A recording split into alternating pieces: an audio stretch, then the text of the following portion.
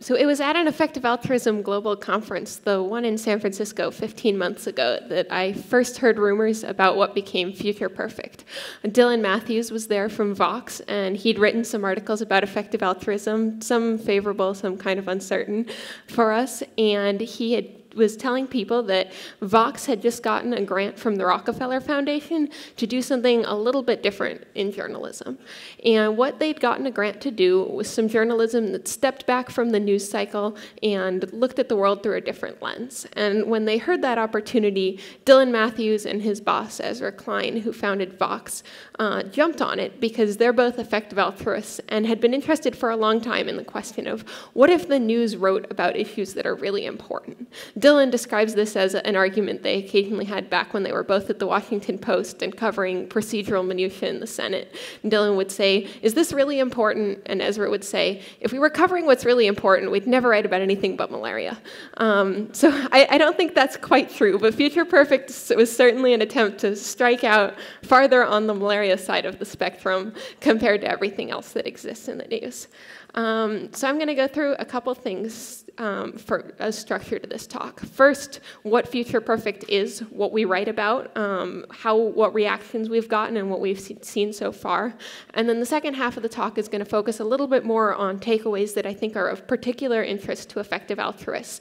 So how much good have we done? How do we know how much good we've done and what are some questions in that area? If you want to become a journalist, how do I think you can do good? If you wanted to make more things like Future Perfect happen, how would you go about doing that?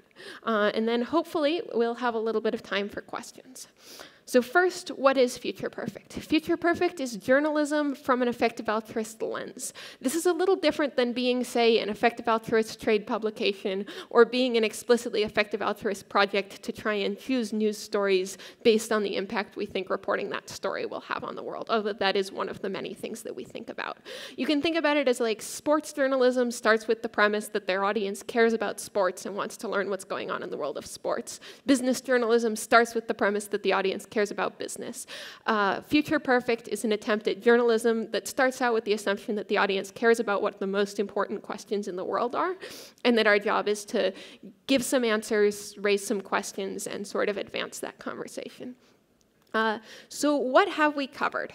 Um, we've covered global health and development, new studies in that area, and analyses of old studies in that area to present our understanding of the consensus. We've written about microfinance and the reasons to think it works, but not as well as everybody thought it might when they started working on it. We've written about cash transfers. We've written about new studies looking at spillover effects from GiveDirectly's work. We've looked at graduation programs, which have been benchmarked against cash and found to be a promising way to help the ultra poor before. We've written about animal welfare. We've done coverage of problems on factory farms. You might think there's so many coverage on there's so many problems in factory farms that what does coverage do? But often there's a particular expose or a particular change in rules that lets us highlight that. Um, we've covered the rise of plant-based meat alternatives, which is something that a lot of effective altruists are excited about as a way of providing people with things they like to eat without the problems associated with factory farming. We've covered existential risks, both with some big articles that explain the broad case for caring, say, about AI or about biosecurity, and with some more news articles articles that just cover the advances in AI as a field and how someone might think about them if their concern is for the big future. We have a podcast which has had two seasons so far. Season one highlights lots of interesting, weird ideas for making the world better, um, pulling on some things that I, I think are rarely discussed even in EA circles. And it's a great introduction to lots of different ways of answering the question how do we do a lot of good? Season two is a little bit different, and it looks at philanthropy and what money does. So the ways that people who donate money have been able to shape the values of the movements they donate to, for good and, and sometimes for bad, uh, the ways that donors have been able to raise an issue to mainstream attention uh, when it was previously not taken very seriously. I don't know what season three will be about, but we want to continue answering questions that are interesting to effective altruists. The newsletter comes out twice a week. Uh, the three authors of Future Perfect write introductions to it. Sometimes those are things that we're interested in. Sometimes they're more link roundup focused, uh, but they're sort of a window into what we're thinking about when we pick articles for Future Perfect. Uh, we write about three to four articles a week on a busy week, sometimes five. Uh, the pace is actually one of the things that really took me aback when I started writing for Vox. Actually, about a week before I started, somebody pointed out to me on Vox's website that a particular author had written six articles. And they were like, Kelsey, are you going to have to write six articles? And I said, wow, I, I, hope not. I can't write six articles. I, they, they probably would have told me if they expect me to write six articles. We spent an hour or so going through all of Vox's writers and checking how many articles they'd written in the last week. And I was relieved that most of them, it was more a manageable three or four. Um, and Future Perfect has a slightly slower pace than the rest of Vox because we have a broader area we cover um, and we need to know a lot about more distinct topics. But we still write a lot of content. Um, and I think that's been really good for me as a writer to get to delve into so many different things and to sort of be required to turn out articles about so many things it stops me from putting article after article in my drafts to wait until I feel like it's perfect, which means it never comes out of my drafts. Um, but it means that there's a lot of future perfect content out there. Um, so then the next thing that you might want to know, well, I have some of the articles that we've covered. This is just a random day, the day my slides were due, the front cover of Future Perfect, and it just shows some of the variety of content that we cover, um, from the Nobel in economics to some stuff about how pigs are smart, uh, a UBI experiment, a map that helps you figure out where you can find plant-based meat, um, and a whole lot more. Um, and we've gotten some really positive reactions, including from some important people, to Future Perfect's coverage. One of the great things about Vox as a venue for Future Perfect is that Vox is taken pretty seriously by policymakers. Uh, Barack Obama recommended some of our articles. Um, senators often share articles that we write about their policy and about policy issues that they find pressing. So it's a great way to get EA ideas into the national conversation and to get lots of people talking about about them and reading about them who otherwise probably wouldn't. Um, so the next question is, looking back after a year, what has surprised us? And I'd say I've been surprised by a couple of things. One of them is the, just the reach that Future Perfect has had. Millions of people read our more popular articles. Um, recently, I had an article about the backlash against um, plant-based meat that reached 2.5 million viewers in a couple of days and left me going like, wow, that's, that's so many people. Um, there's a lot of interest in these issues, and there's a lot of appetite for coverage, which is some, in some ways really exciting because it means that there's space for more things like Future Perfect and space for Future Perfect to grow. And it means that there really are lots of people who want to read about these topics of interest to EAs. And so while EAs are a huge part of our audience and we take really seriously the perspectives of the EA community on what we're doing, I think we're also reaching way beyond the EA community. That's both really powerful and honestly a little bit scary because it means that lots of people's only knowledge of EA perspectives and topics might be coming from Vox's Future Perfect. And so you might be asking, are, are you guys careful enough about what you're conveying to everybody about EA? And actually, one of the reasons Future Perfect is called Future Perfect is because we didn't want to call it effective altruism Vox or anything like that. Both, I think the EA community didn't want that because then Future Perfect would です。Represent the EA community to lots of people who wouldn't have other interactions with it even more strongly. And Vox didn't want to do that because while it's an EA lens we're using to look at the world, it's a journalistic project um, and not a project that's explicitly designed to write articles that will do the most good.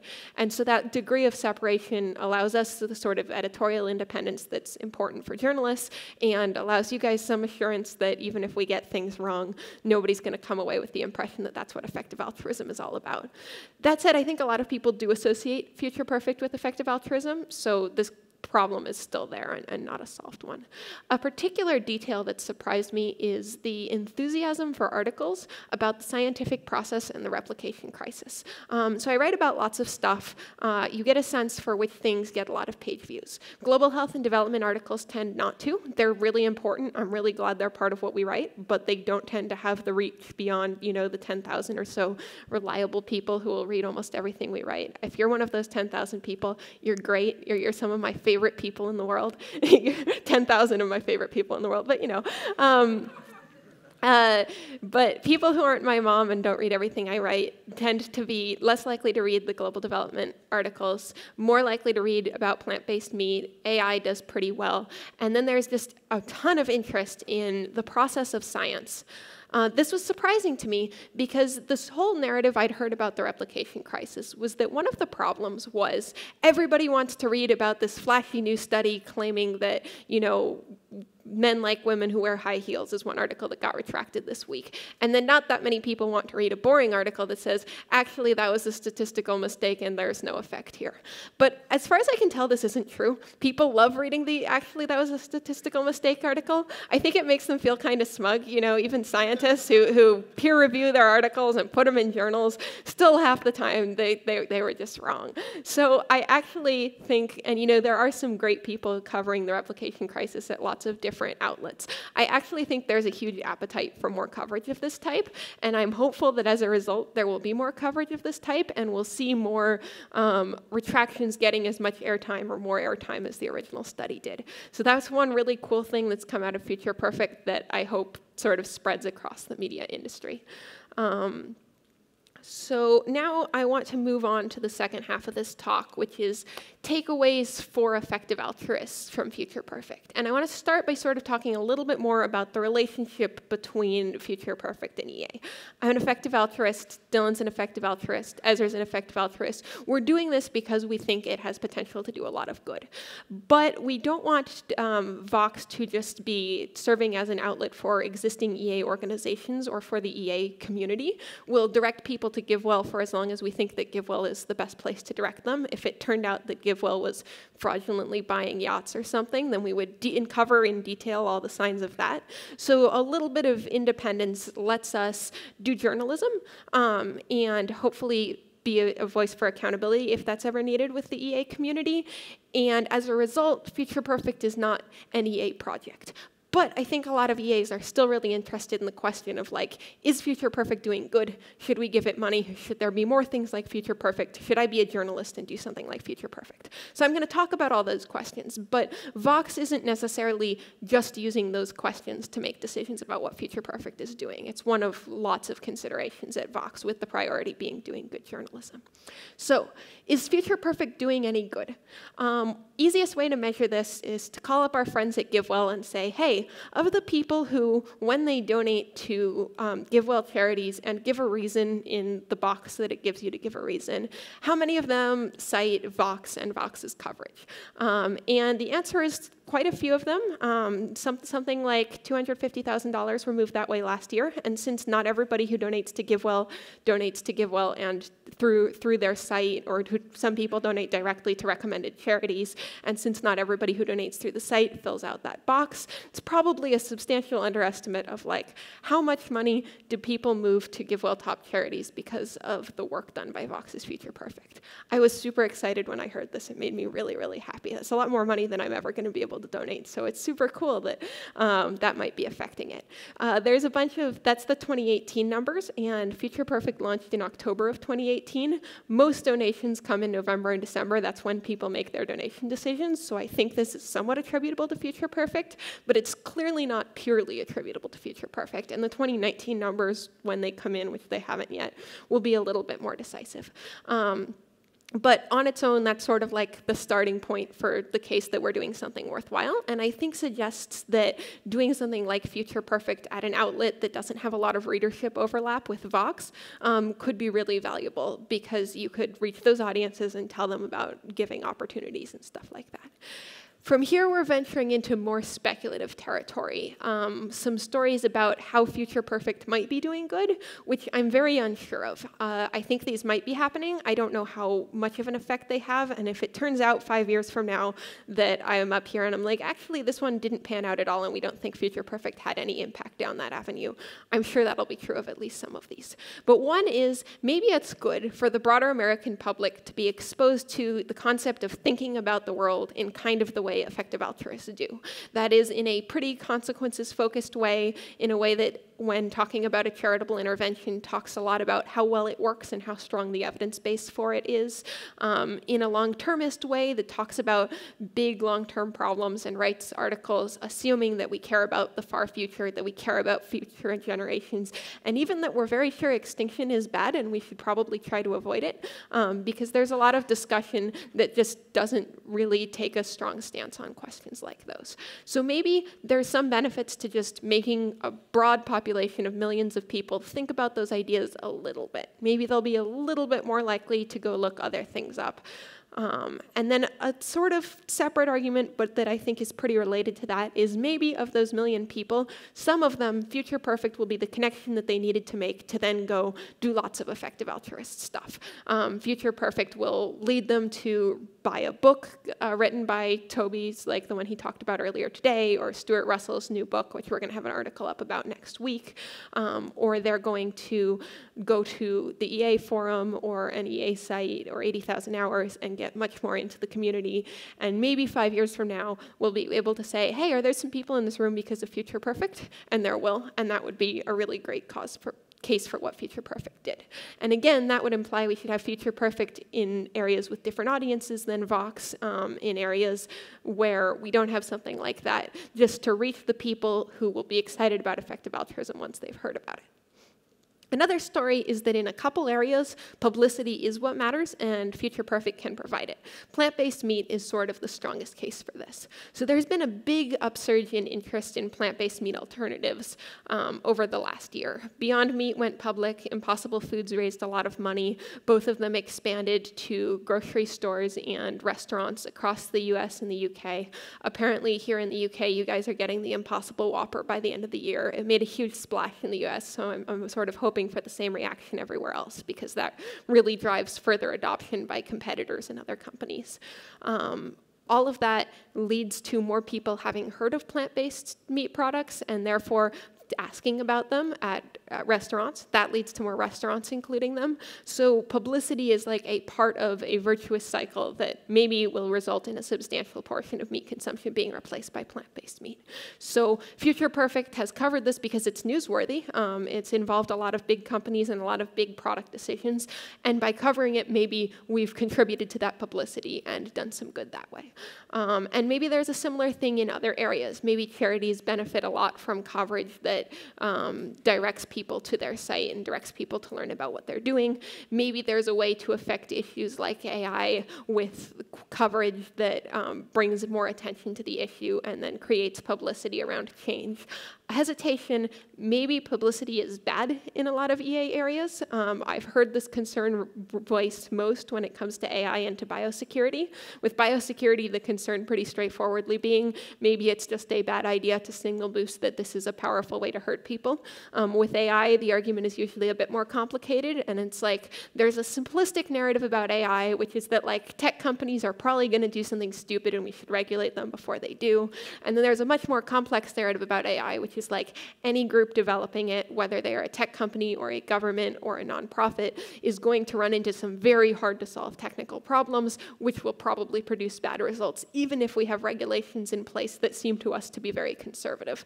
Um, and so the worry is if we accidentally push lots of people to believe the first thing and then it turned out that we needed them to believe the second thing, maybe we end up being obstructive burning um, public approval and causing problems. So publicity, very powerful tool for good, also a very powerful tool for causing problems. Um, I hope we're doing more good than causing problems, but this is actually something where I really want to be in tune with the opinions of the EA community. So if you read an article and you're like, this feels like more of a problems article than a good article, I really value getting emails about that and sort of getting people's perspectives on where it's helpful to have more emphasis and energy and attention and where it's easy to be counterproductive with that.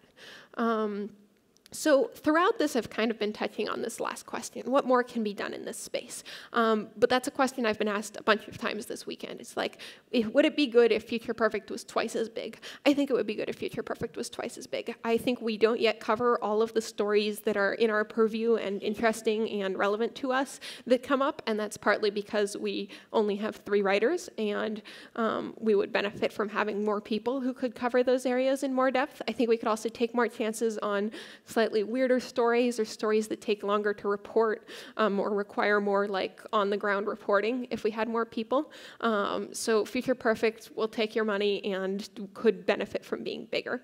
I've talked a little bit about how in addition to that, I think things like Future Perfect in other organizations could do a lot of good, especially to the extent those organizations don't have a lot of overlap with Vox. Um, Vox was founded by Ezra and Matt Yglesias, two pretty well-known, pretty liberal pundits, and as a result, while it's not like officially ideological or anything, it's pretty associated with US liberal politics. And I would think it would be pretty cool to have something like Future Perfect in lots of organizations with lots of ideological bents and audiences because that reaches a wider range of people, a wider range of perspectives. I think you could have something like it outside the United States, and that would be pretty cool. Um, another question I get asked sometimes is, what if we had something that was like Future Perfect um, and not part of Vox, like just an independent news organization that wrote from an EA perspective and was EA sort of top to bottom.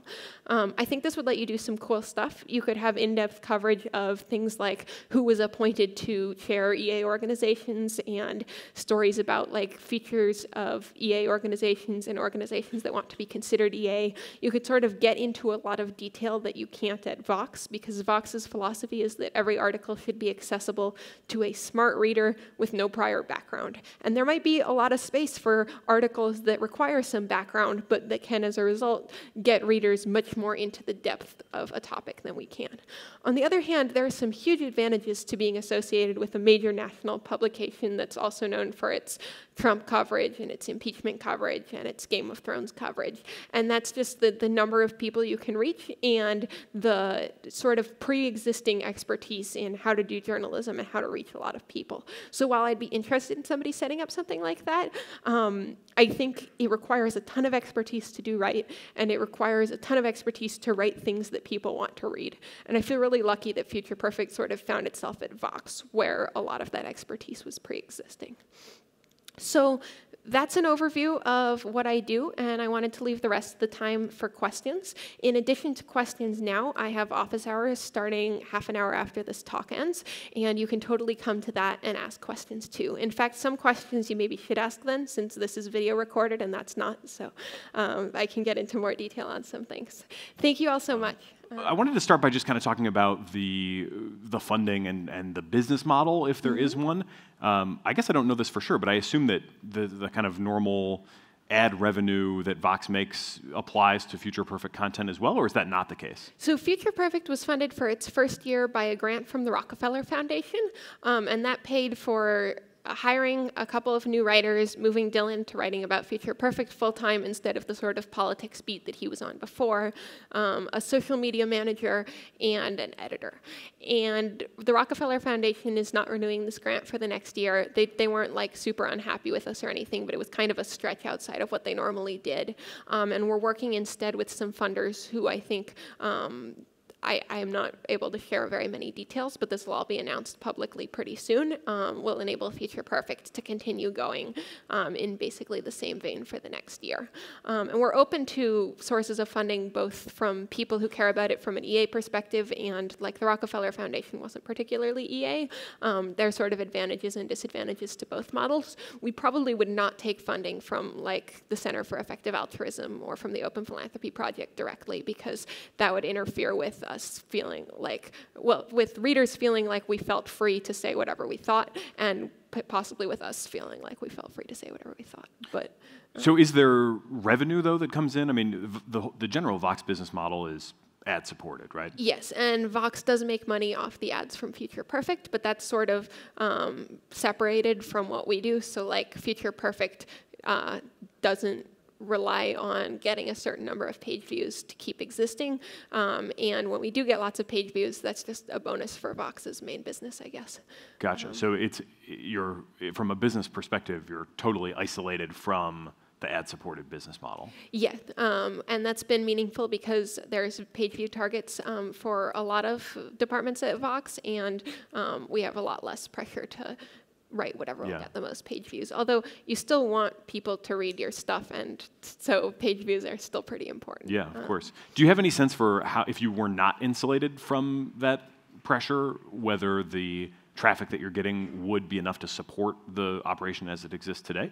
I think if there hadn't been grants, um, there was definitely plans to keep the, the writing team from Future Perfect, I think probably we would shift in a direction that had, you know, maybe less of our stories that don't perform as well and more of our content in like AI and plant-based meat that's been really promising. Um, but certainly we write a lot of stuff that does very well by Vox's standards too.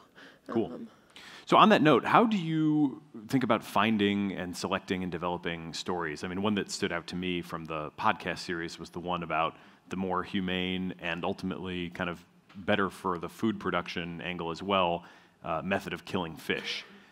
Yes. Kind of out there. So, yeah, where do you find this stuff? A lot of flexibility. If you have something that you think is sort of related to EA that I should write about, you can just email me, um, Kelsey Piper at Vox. Um, and a lot of this I do find just by reading the EA forum, by reading a lot of journals, by talking to a lot of people who are doing stuff, and then picking things that are interesting or that like exemplify a concept that we should be thinking about. Like with the more humane method of fish slaughter, I wouldn't say that's very important in itself, but it gets people thinking about the question do fish suffer? Given that fish suffer, do we have obligations to sort of change how we process fish?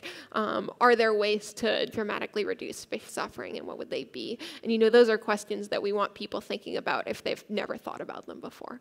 Um, couple very practical questions coming in from the audience. One about just writing in other languages beyond English. Is that an area that you guys have interest in? I think it would be super cool if that existed. Um, Vox doesn't have the expertise to do it in house, but I would be really excited about people starting things like Future Perfect um, in other languages. It seems like you could do a lot to bring similar concepts to other audiences that way. Um, and another question about different forms of media. You guys obviously have columns mm-hmm. uh, in kind of the blog format as well as the podcast. Have you given any thought to expanding into, into other forms, or do you have other types of media that you think could be fruitful that people might want to consider? So Vox has a pretty big video team and produces a lot of content for like YouTube, and I, I, hear that lots of people mostly interact with the news and with ideas and speakers through YouTube. So I would be pretty excited if somebody was like, I want to start doing um, something like a YouTube for effective altruism. Both, it would be exciting if Vox got the funding to do that, and it would be exciting if somebody here was like, yeah, I, I feel like I could like stream and talk about effective altruism. Um, I, I, don't think I could personally do that. It sounds terrifying, but you know, it, it would be cool. well, don't sell yourself short. I think you've done an amazing job here uh, in front of this audience. So I'd love to see you uh, even maybe give the YouTube thing a shot one day. How about a round of applause for Kelsey Piper?